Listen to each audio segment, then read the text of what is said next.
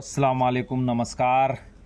देखिए देखिए, लोग कहते हैं ना कि बड़ा वीडियो नहीं बनाते हैं। देख लीजिए, अंतर को समझिए। अंतर अगर नहीं समझ में आए तो फ़ोन कीजिएगा। ध्यान से देखिए। देखिए, दो सिंट, कॉमन सिंट बोवा का बच्चा है और दो रसल्स भाइपर का बच्चा है। रसल्स भाइपर का बच्चा जो होगा, उसमें गोल गोल गोल गोल दागी दागी होगा। और जो सेंट बोवा का होगा वो थोड़ा सा अलग होगा, भिन्न होगा। इसलिए इसे अच्छी तरह से पहचान लें। कॉमन सेंट बोआ बिल्कुल जहरीला नहीं होता है थोड़ा सा भी जहरीला नहीं होता है।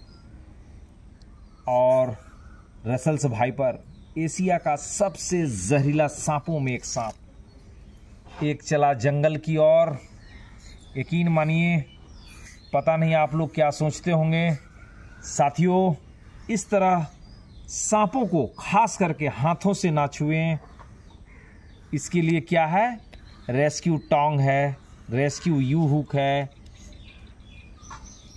जिस किसी को rescue tong, rescue U hook चाहिए, वो nine double three double three two zero five five five पर कॉल कर, बड़ा आसानी से प्राप्त कर सकते हैं। दोस्तों, सांप काट लेगा तो हॉस्पिटल जाओ।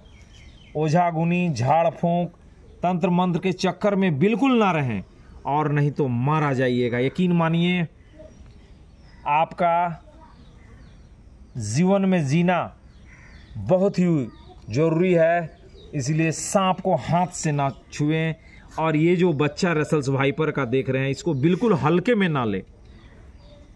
आज तक के लिए इतना ही। जय हिंद जय भारत। रख दें। Thank you.